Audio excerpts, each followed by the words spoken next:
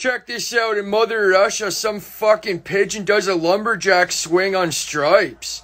Christ almighty, what happened? He said you couldn't wear fucking 99?